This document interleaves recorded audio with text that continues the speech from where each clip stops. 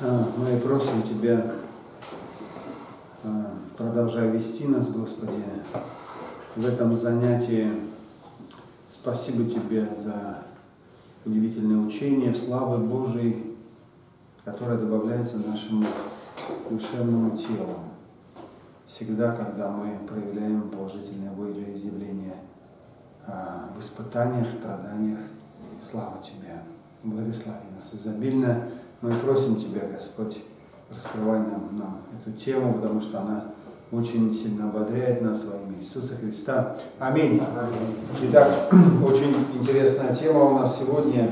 И а, это продолжение прошлого занятия. Это Римлянам 8.18 и 1 Петра 1 глава 6 и 7 стих. Давайте сначала мы 1 Петра прочтем, чтобы освежить в в нашем уме а, эти стихи. Так, 1 Петра, 1 глава, 6-7 стих.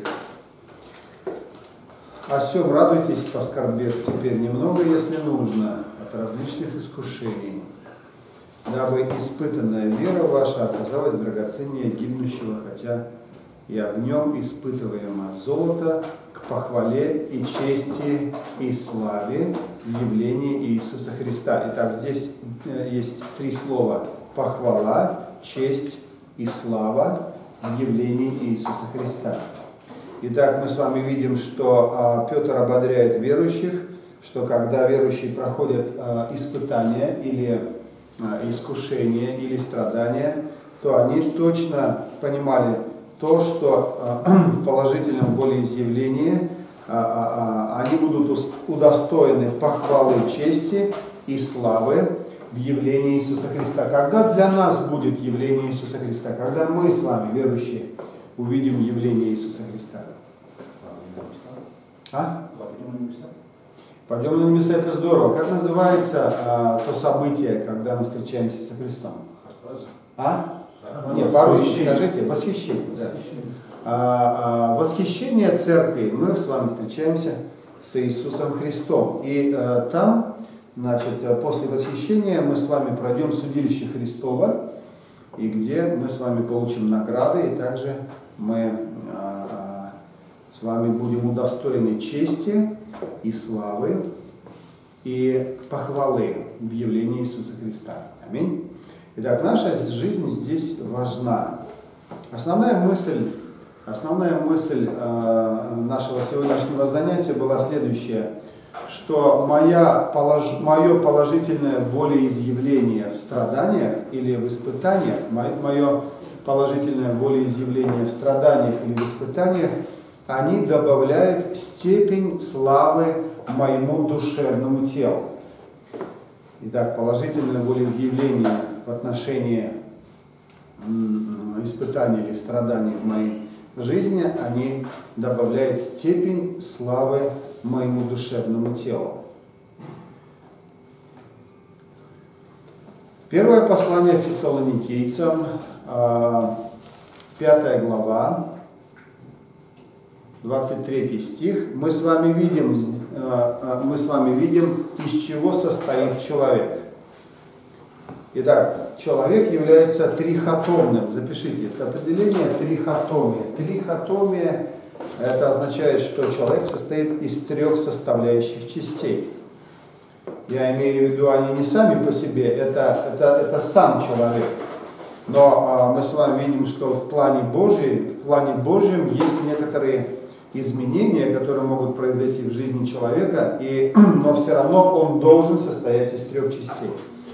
23 стих. «Сам же Бог мира, то есть Бог покоя, да осветит вас во всей полноте, и ваш дух, и душа, и тело во всей целости, да сохранятся без порока в пришествии Господа нашего Иисуса Христа». Итак, мы с вами состоим из чего? Дух человеческий, душа человеческая и наше, наше тело. И э, э, давайте мы с вами откроем первое послание Коринфянам, 15 глава. В этом послании, в 15, 15 э, главе первого послания Коринфянам, так называемое полное учение о воскресении. Полное учение о воскресении. о воскресении. Итак, и Христос воскрес, и мы с вами обязательно воскреснем, потому что мы Его тело. 20 стих 15 главы. Но Христос воскрес из мертвых, первенец из умерших, ибо как смерть через человека, так через человека и воскресение мертвых. Как водами все умирают, аминь, вы со мной?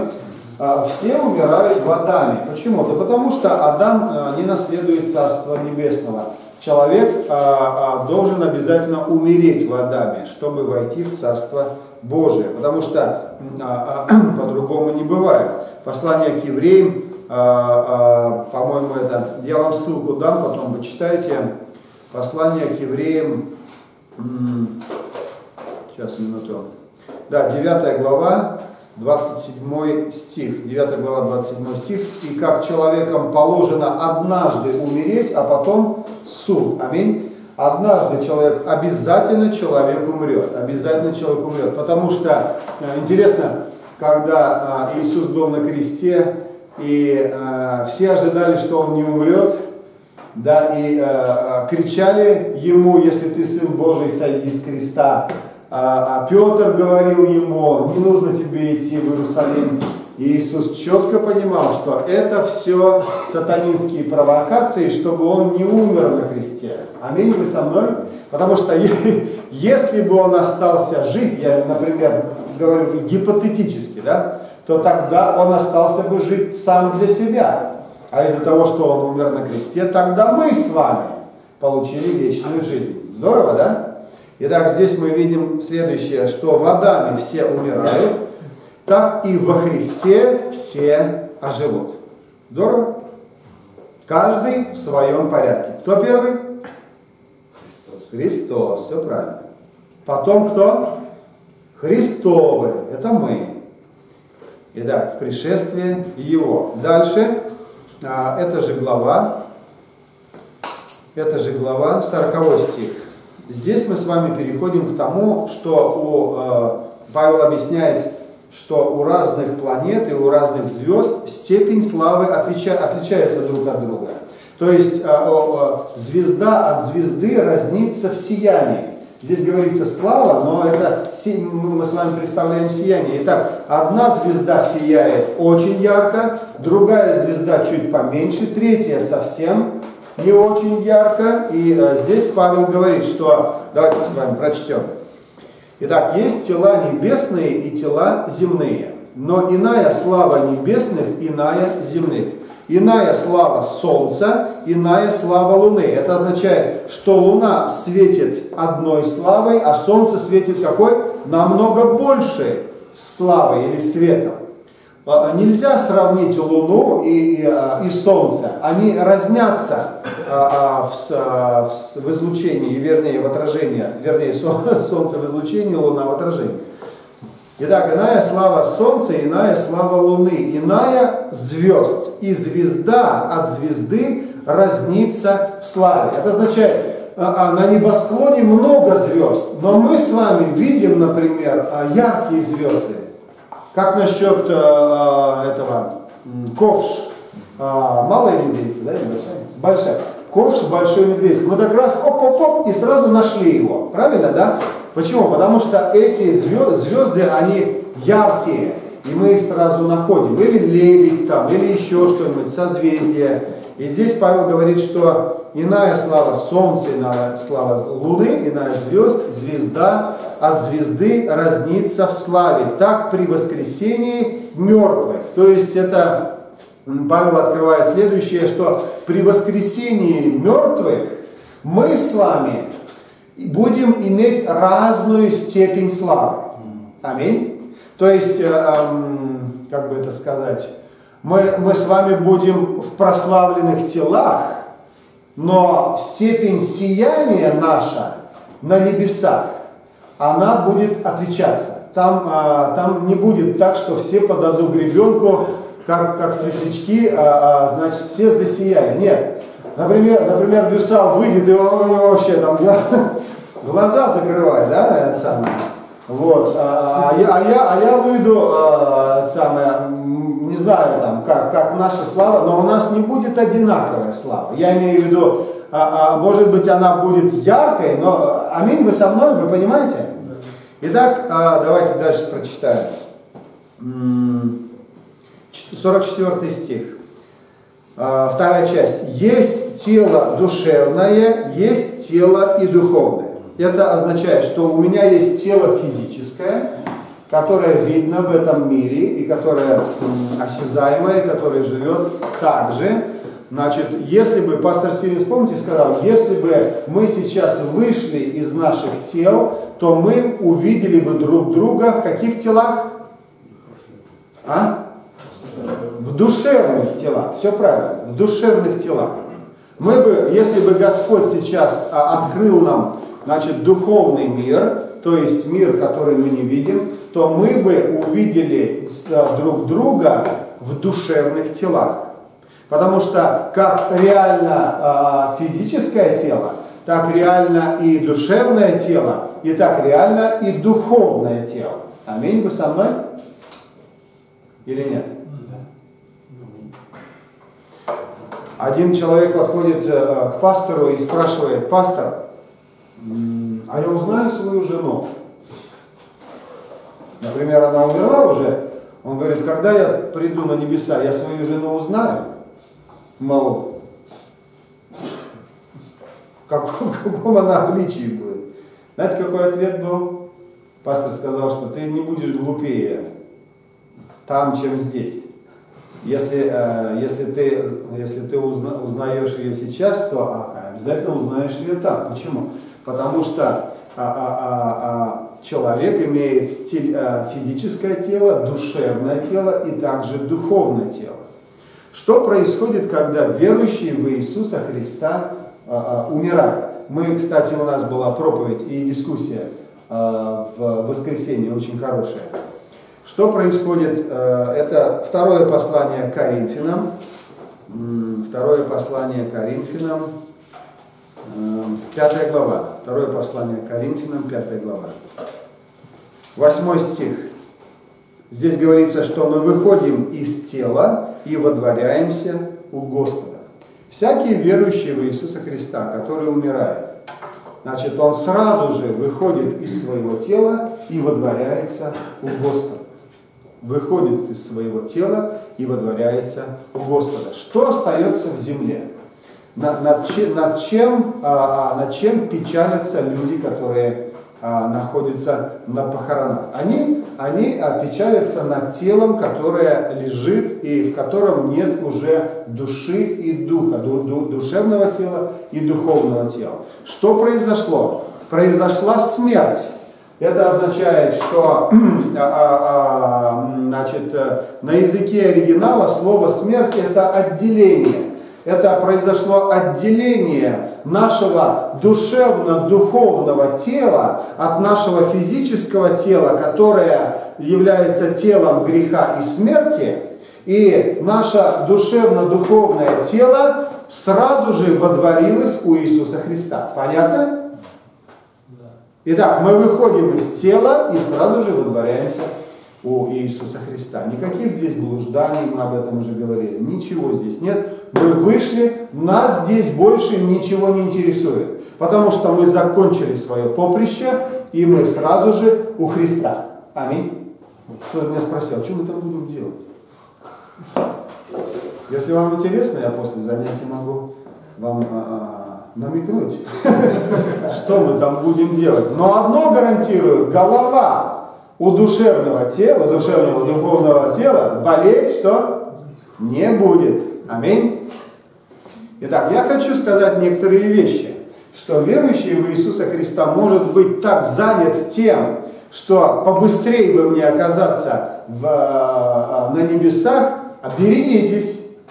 Значит, а, а, мысли, мысли наши на земле должны быть такие. Господи, Ты дал мне эту жизнь, дал мне это поприще, и ты дай мне, Господи, благодать, чтобы я прошел свое поприще, а когда ты решишь, аминь, тогда я а, а, а, поднимусь на небеса с радостью, аминь, Потому что верующие могут а, а, значит, съехать в другое направление и думать совсем неправильными мыслями. О, я хочу быстрее сам. Помолись, чтобы я умер побыстрее. Да? И мы говорим, нет, это нехорошее отношение, это, это нехорошее ожидание. Ожидание такое, да, у меня будет воскрешенное тело, но у меня здесь есть поприще. И оно такое же удивительное и замечательное, как, а, а, как, потому что Господь ведет меня в моем земном поприще. Аминь. И я ни в коем случае не забегаю вперед и не поддаюсь на сатанинские уловки, но живу свою христианскую жизнь, аминь, спокойно. Аминь, спокойно. Мы с вами уже сказали, пускай у сатаны а, голова болит, потому что ему немного времени осталось. А у нас вообще времени, я не знаю, у нас верим, мы уже в вечности живем.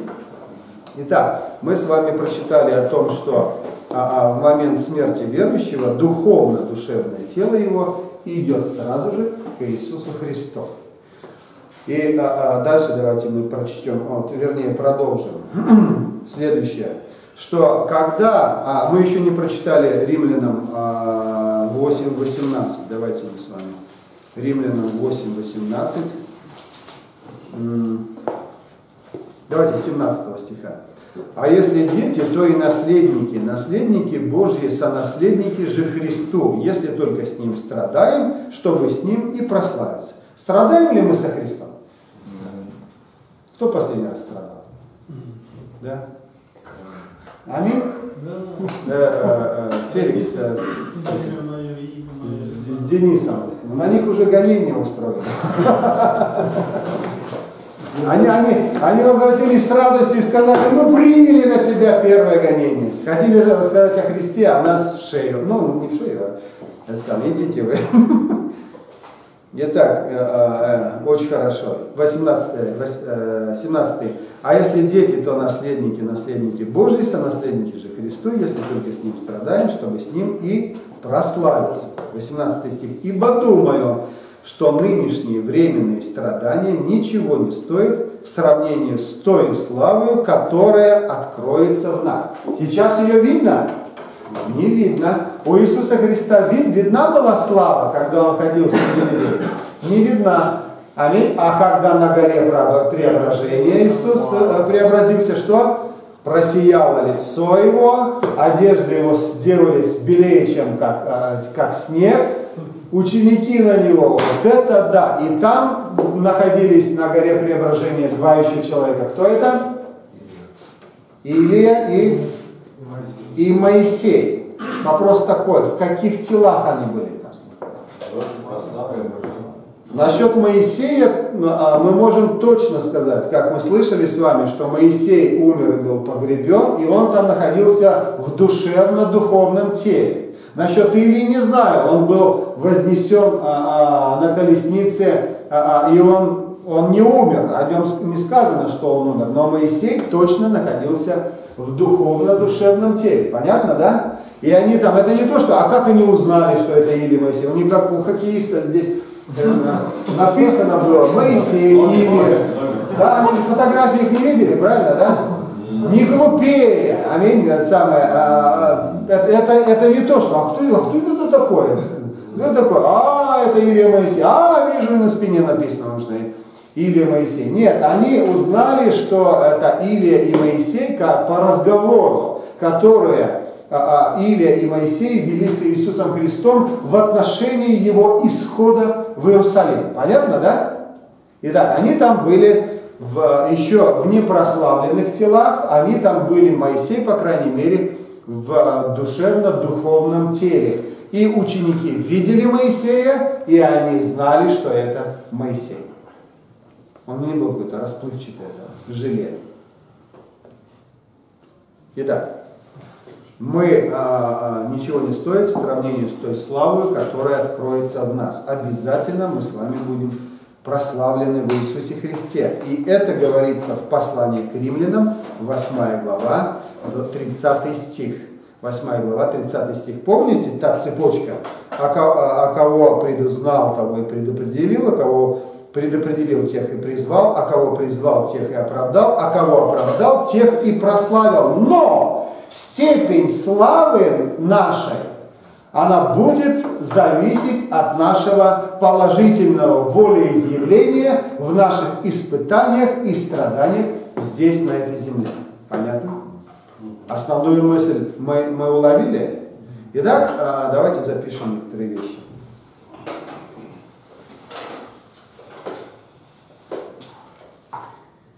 Итак, а, я получаю степень славы в испытаниях. Первое. Как я получаю степень славы в испытаниях? Или в страданиях? Первое – это мое положительное волеизъявление. Не негативное, а положительное волеизъявление. Откуда у меня появляется положительное волеизъявление? Второе. Я знаю план Божий. Я знаю план Божий. План Божий для моей жизни, чтобы я был прославлен. Я знаю план Божий. Первое, положительное волеизъявление. На чем она основывается? Второе, я знаю план Божий. Слушайте внимательно. Я знаю, что всякий человек, которого Бог поместил рядом со мною, не был дан мне для того, чтобы я а, а, а, относился негативно или злился, или реагировал в эмоции. Аминь, вы со мной? Всякий человек, который, которого Бог в своей премудрости поместил рядом с нами, как бы он не относился ко мне, у меня есть, или у вас, или у меня, у нас у всех есть выбор, как я буду относиться, в отнош... относиться к этому человеку. И здесь очень важно было сказано, что а, а, ни один человек не может определять для меня степень, а, степень радости в моей жизни. Аминь. Моя жена не может определять степень радости в моей жизни. Мой муж не может определять степень радости в моей жизни. Почему? Потому что степень радости в моей жизни определяет Христос. Аминь. Итак, знание плана Бога. Господь говорит, я помещу в твою жизнь одного человека.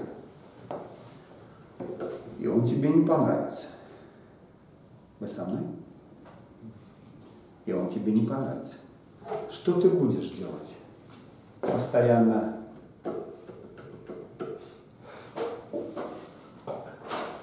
постоянно ворчать, относиться негативно, избегать этого человека. Или ты начнешь молиться следующей молитвой. Это я уже добавлю. Господи, дай мне с этим человеком дружбу. Аминь. Дай. Я начинаю молиться по вере. Господи, ты можешь сделать а, а, нас друзьями. Может притча говорит, что когда человеку, когда Богу угодны пути человека, он их врагов его примиряет с ним. Аминь. Слушайте, а если я начинаю негативно относиться и, и, и, и говорить, этот редиска опять пришел, я сам, все, все, весь день мне испортил и так далее и тому подобное, я ухожу из этой ситуации банкротом, и к моему душ, душевно-духовному телу не прибавляется слава. А если я начинаю молиться, Господи, благослови этого человека, и Ты даруй благодать, чтобы он, а, а, наши взаимоотношения нормализовались и или, или больше того, мы стали друзьями. Аминь. Тогда я ухожу, и к моему душевно-духовному телу прибавляется степень славы за то, что я в этой ситуации принял положительное волеизъявление. Итак, по чуть-чуть, по чуть-чуть, по чуть-чуть, по чуть-чуть, и я все... Здесь не видно. А на небесах будет все видно. Аминь. Вы скажете, пастор, вы говорите нереальные вещи. Вы знаете, если бы, а, если бы не было завершенной работы Христа и в наших сердцах не было Духа Святого, и мы не были бы возрождены свыше, то я, так, тогда я бы согласился. но из-за того, что Христос в нас, и Он больше того, кто в мире, аминь, из-за того, что Дух Господень, который воскресил Иисуса Христа из мертвых в нас, из-за того, что мы с вами рождены свыше, это очень даже реальные вещи. И я больше скажу, от этих малых вещей в нашей жизни зависит наша степень славы, как мы будем сиять а, а, а, на небосклоне Иисуса Христа. Слушайте, не, не могу не прочитать вам. Книга Даниила, 12 глава. Ой, ой, ой, ой. Это для, чтобы вы были благовестниками. Аминь. 12 глава книги Даниила. 12, 12 глава 2 стих. И многие из спящих в прахе земли пробудятся, Одни для жизни вечной, другие на вечное поругание и посрамление. И разумные будут сиять, как светило на тверде, и обратившие многих праведности, что? Как звезды во веки и навсегда. Аминь. Слушайте, разве это не ободрение стать благовестником? Отбросить всякое, всякое, всякое, всякий страх там перед людьми и так далее и, и а, а, быть благовестником. Господь говорит, разум, ты, ты разумный человек, если ты благовестник. И а, если ты благовестник, то я сделаю тебя следующий. И обратившие многих праведности будут сиять, как звезды, навеки и навсегда. Вы представляете, какая степень славы у благовестников? Какое у них а, душевно-духовное тело? А, во-первых, оно большое, во-вторых, оно сияет. Почему? Да потому что всякий раз это был шаг по вере. Аминь. И всякий раз Господь добавляет э, Феликсу и, э, и Денису, добавлена вам степень славы. И я не шучу, потому что об этом говорит Библия. Правильно, да? Не пренебрегайте этим. Пользуйтесь временем. Будьте благовестниками. И это не закон, если да, ты, ты не благовестник. Это, это ободрение для того, чтобы ваша степень славы, она возрастала. Представляете? Я, например, а, умираю, иду, раз только, иду. Вау!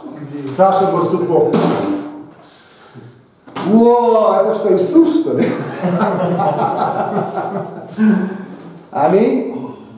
Здорово. Когда это можно делать? Во времени. А больше, если время закончится, хождение по вере закончится, мы увидим Христа такого, таким, как Он есть, и тогда уже нече, негде будет это самое славы, славу собирать, негде будет. Потому что мы уже войдем в вечность, и а, в вечности у нас зафиксируется степень славы нашего, нашего душевно-духовного душевно тела, тела, которому обязательно добавится наше физическое воскрешенное тело, и мы с вами войдем в вечность трихотомными, то есть дух, душа и тело будут абсолютно совершенны, и мы с вами войдем в вечность со степенью славы, которая будет отражением жизни Христа в нашей жизни здесь на земле. Здорово? Итак, первое это было а, а, положительное волеизъявление. Следующее. Знание плана Бога. Я смотрю на людей, которые окружают меня, и они мне не нравятся. Я смотрю на обстоятельства, которые в моей жизни, и они мне тоже не нравятся. И Господь говорит, что ты будешь делать по этому поводу? Как ты будешь реагировать на это? Я знаю тебя, и из-за того, что нужно провести в тебе работу, я поставил с тобой этого человека. Или, например, чтобы постоянно держать тебя в сокрушенном состоянии. Аминь. Что ты будешь, ворчать или там а, кричать или еще что-нибудь? Если будешь, это, если будешь этого делать, останешься банкротом. Следующее, третье. А, а, итак, знание плана Бога, я исполняюсь Духом Святым. Но я думаю, что значит, это, без этого нет а, жизни верующего в Иисуса Христа. Или я на 100% исполненный Духом Святым, или я на 100% плотский. Среднего 99 плюс 1 нет. Понимаете, или 100, или 100.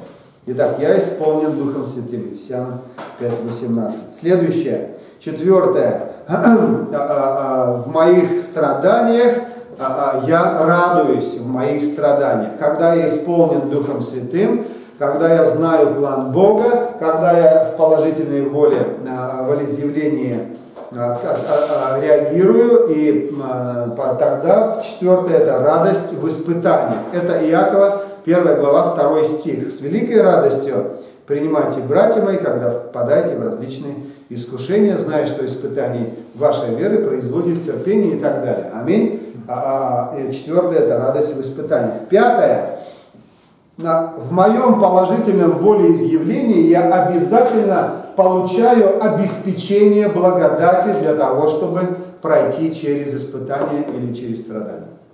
Обязательно получаю, получаю обеспечение благодати. Господь говорит, благодати моей достаточно. Шестое. Шестое. Всякая ситуация будет содействовать ко благу в моей жизни. Всякая. Из-за вот этих вот пяти пунктов всякая ситуация будет содействовать ко благу в моей жизни. Даже негативная ситуация и, э, э, и так далее. И седьмое моему душевно-духовному телу будет добавлена слава, степень славы. Моему духовно-душевному телу будет добавлена степень славы. Если мы посмотрим на Иисуса Христа и на Его поприще, мы здесь, давайте с вами пройдем эти пункты, со стороны Иисуса Христа. А? Ага. Со стороны Иисуса Христа. Итак, Господь Иисус Христос а, а, в своем положительном волеизъявлении согласился, согласился с планом Отца. Аминь. Он а, а, сошел на землю и стал человеком. Он здесь был на, земле, он был на земле, и он проходил свое поприще, зна, зная Божий план. Где мы можем видеть это? Это 13 глава, один из стихов, 13 глава, 1 и 2 стих. Евангелие от Иоанна, 13 глава, 1 и 2 стих. Иоанна 13, 1, 2. Перед праздником Пасхи Иисус, зная, что пришел час его перейти от мира сего к Отцу, явил, явил делом, что, возлюбив своих сущих в мире, до конца возлюбил их. Во время вечери, итак, третий стих, Иисус, зная, что Отец все отдал в руку Его, и что Он от Бога и шел, и к Богу отходит, встал и снял себя одежду, чтобы служить. Интересно, Иисус знает план Отца. Здорово? Все, я знаю. Я знаю план Отца, я знаю, что обязательно я а, встречусь с моим Отцом после того, как за, за, будет завершена работа на кресте Голгофа. Петр говорит, не, не ходи, не, не ходи туда. А, а Иисус говорит, стань за мной, сатана не маячь здесь у меня перед глазами, потому что я иду на крест. Это план моего отца. Я не могу идти в другое место, потому что я полностью согласился, и я нахожусь в покое, потому что это Божий план для меня. Я исполнен Духом Святым, у меня радость в испытаниях. Дальше, у меня есть обеспечение благодати в испытаниях и всякая ситуация, и крест будет не, и крест Голгофы будет великой победой, когда Он приобретет нас с вами, то есть приобретет вечное искупление. Аминь. Итак, Иисус четко, да, я согласен, у него не было ветхой греховной природы, но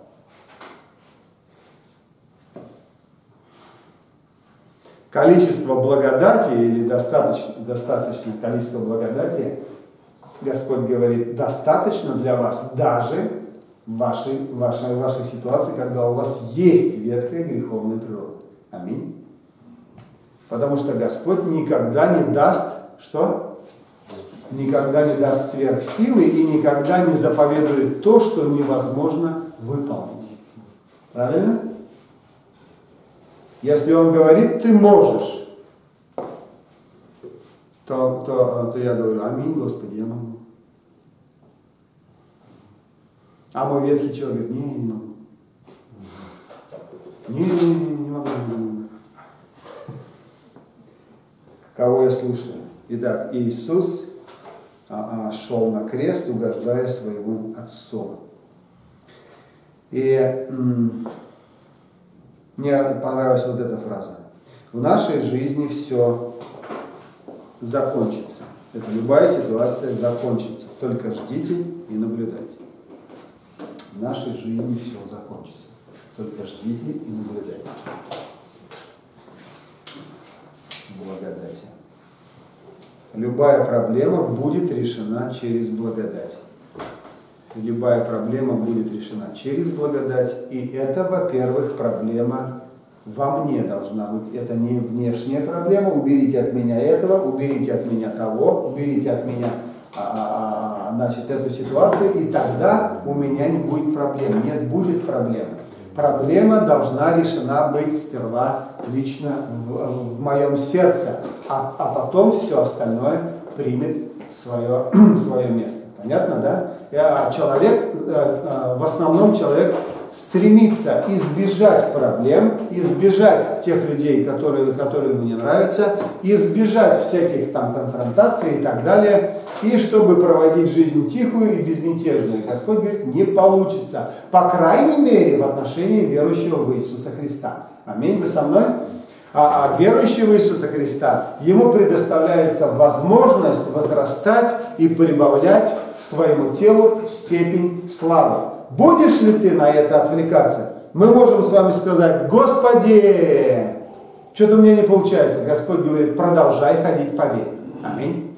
Продолжай ходить по вере, продолжай насыщаться Словом, чтобы а, утверждаться в моем плане для твоей жизни. И давайте еще дальше скажем несколько слов. Итак, Божья сокрушенность, это очень важное было определение. Божья сокрушенность. Хочу сразу сказать, что когда человек рыдает, сожалеет и, и так далее, он думает, что он сокрушен. Нет, это совсем другое. Рыдание, сожаление, человек плачет там, а сожалеет, это а, а, не является сокрушенностью. И то же самое это не является смирением. Сокрушенность, Божья сокрушенность, это следующее. Божья сокрушенность, когда в моей душе нет больше почвы для восстания, извините, когда в моей душе нет больше почвы для недовольства и восстания против Бога, против Его плана и против Его людей. Еще раз повторю. Божья сокрушенность, когда в моей жизни нет уже почвы для недовольства, для восстания против Бога, Его плана и Его людей. И Его людей. А, против Бога, против плана, против Его людей. Итак, в моем сердце уже нет этой, в моей душе уже нет этой почвы, которая а, восстает, которая противостоит. И а, а, я хочу сказать следующее, что если мы в своей жизни еще падаем в каких-то областях, ничего страшного, мы с вами возрастаем. Аминь. И мы с вами будем возрастать до какого момента? До того момента, когда мы встретимся с Иисусом Христом. А когда мы встретимся с Иисусом Христом, то тогда мы пройдем через судилище Христова, и мы с вами получим награды, и мы с вами будем запечатлены в той степени славы, в соответствии с нашим положительным волеизъявлением на, а, а, на а, испытании и на страдании. Я думаю, что это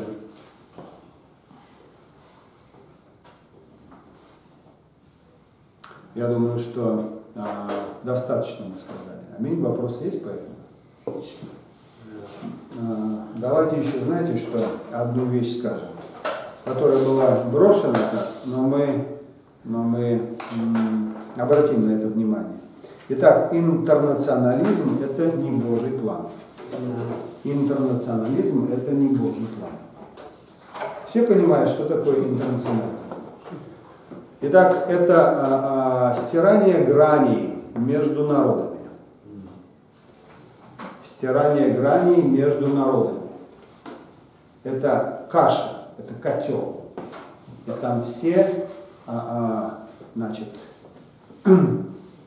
все отличительные качества народов, а мы с вами знаем, когда народы а, образовались? Вавилонский баш. До этого был что? Один народ и один язык, правильно, да? Почему? Потому что, потому что когда интернационализм, то тогда обязательно вырастет диктатор.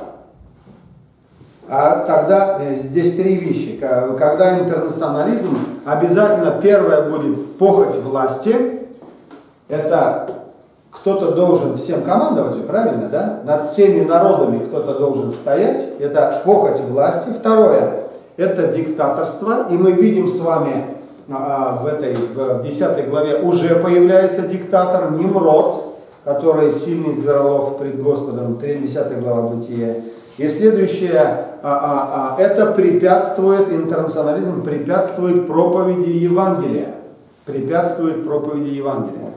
Апостол Павел говорит в, в Деянии апостолов, в 17 главе, когда он проповедует в Афинах.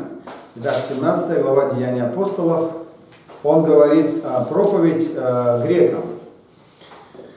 24 стих. «Бог, сотворивший мир и все, что в нем, Он, будучи Господом неба и земли, не в рукотворенных храмах живет и не требует служения рук человеческих, как бы имеющий в чем-либо нужду, сам давая всему жизни, дыхание и все. От одной крови Он произвел весь род человеческий для, для обитания по всему лицу земли, назначив предопределенные времена и пределы их обитания. Это означает, что а, а, а, а, сейчас мы видим с вами, что много государств, аминь, и много народов, и они имеют свои конкретные границы. И это Божий план, потому что мы с вами видим, что в тысячелетнее царство войдут народы. Правильно, да? Это не войдет какая-то масса, войдут народы. И в вечности тоже будут народы. И для каждого народа Евангелие благодати и Спаситель кто? Иисус Христос. Антихрист будет стремиться к интернационализму, чтобы встать на, на, этот, а, на престол и начать царствовать над всей землей. И ему будет отдана, ему дьявол отдаст свою и власть, и силу, и так далее, и престол свой. Глобализация – это то же самое. Когда все, все, а, все вот эти вот а, значит, рамки, они, они убираются. И просто одно общество – но здесь мы видим с вами, что Господь, как задумал это сделать, произвел народы, так и сейчас народы, аминь, так и будут народы в тысячелетнем правлении, и так и войдут а, народы в вечность. Это мы с вами видим в а, книге Откровений. Народы будут приходить в Иерусалим. Давайте мы с вами прочтем, кстати, Откровение, 21 глава. Мы с вами видим что будет народ израильский, будет церковь, и также будут спасенные народы. Итак, 21 глава, 21 а, глава, 23 стих. И город, а, давайте 22 стих. Храма же я не видел. Итак, это уже время вечности. Храма же я не видел в нем, ибо Господь Бог Вседержитель, храм его и Агнец. И город не имеет нужды ни в солнце, ни в луне, ни в луне для освящения своего, ибо свети, слава Божия осветила его, и светильник его Агнец спасенные народы будут ходить во свете Его, и цари земные принесут в Него славу и честь свою. Куда принесут? В небесный Иерусалим. Кто будет приходить в небесный Иерусалим? Чтобы э, на, на, на, на встречу с Господом, кто будет? Спасенные народы. Аминь. Израиль это а, а, Божий народ, который будет поставлен во главу всех народов, но также и остальные народы. И там не будет уже никаких, ни, никакого, никакого, никакой зависти, там, там будет совершенное состояние, потому что а, мы с вами войдем в вечность, и у нас не будет ни одной занозы, ни ветхой греховной природы не будет. И сейчас наше, наше а, а, занятие заканчивается, и у нас сегодня что было? У нас сегодня что было? Мы с вами а, а, услышали о том, что через наше положительное волеизъявление в отношении страданий и испытаний мы с вами получаем или приобретаем дополнительную степень славы к нашему душевно-духовному телу, которое впоследствии получит воскрешенное физическое тело. И те, которые умерли, они соединятся в момент воскресения. И тогда человек явится, явится полностью, а, дух, душа и тело, и он будет отражать славу, которая а, а, а, будет дана ему Иисусом Христом. Аминь. Отец наш Небесный, благодарим Тебя за Твое Слово, Господь. Невероятное ободрение, Господи, для нас, для всех сегодня. Всякая ситуация, Господи, всякий человек, всякое испытание, всякое страдание, Господи, находится под Твоим контролем. Обучай нас, Господь Иисус, возрастать, Господь, и добавлять к своему телу степень славы. Спасибо, Господь. Произведи это в нашей жизни по Твоей благодати через Иисуса Христа в духовном человеке. Мы славим Тебя, любим Тебя. Обучай, Господи, нас быть благовестниками, благовестниками и чтобы мы сияли на тверди, Господь Небесный, как звезды навеки и навсегда. Спасибо Тебе, Иисус. Благослови и распусти нас миром во имя Иисуса Христа. Аминь. Аминь. Благослови вас Господь. Вопрос можно? Конечно.